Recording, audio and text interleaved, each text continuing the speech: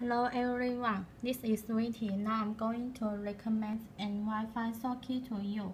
Let me show you the usage. First, let, let's put the socket on the plug. And then let's open the app. After, after the cycles finish, we can turn to the home pages. Look, can you see an logo? Yes, is this. And then you can look on green cycle. Let's look at this. Now we can turn on the socket.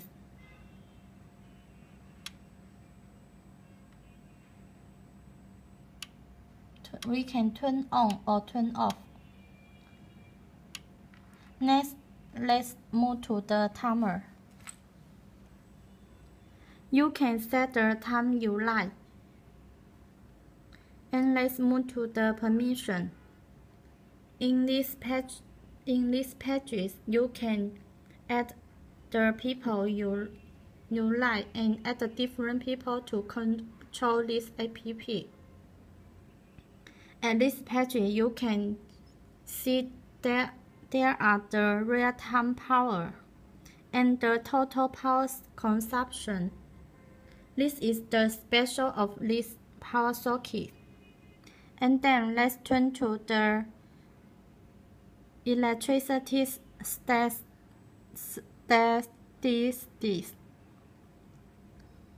Can you see the passage, yes, that's the data.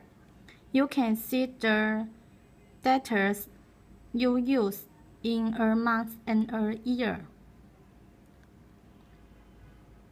Next, let's move to the right. You can see the there are different functions. This passage, passage is the most detailed, including the usage menus. Wi-Fi, Wi-Fi status, and any other and any other information. That's all.